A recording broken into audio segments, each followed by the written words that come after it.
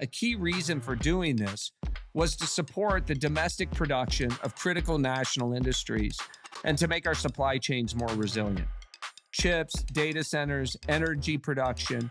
At Altimeter, we just led the Series A in a company, I don't even know if we've announced it, but I'll announce it here, which is an all American producer of rare earth magnets, right? So these are now viable investments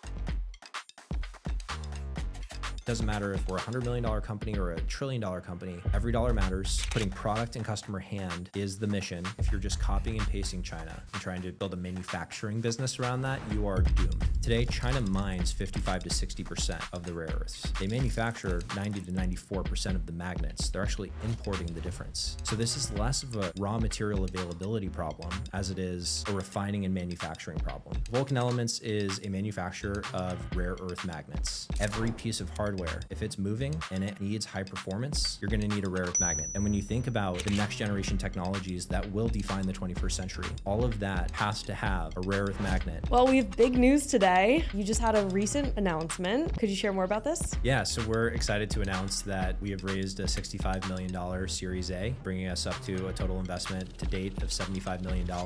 About Vulcan is that you're decoupled. So can you explain how this works and what does this mean? Yeah, so when we initially started this one thing that we realized is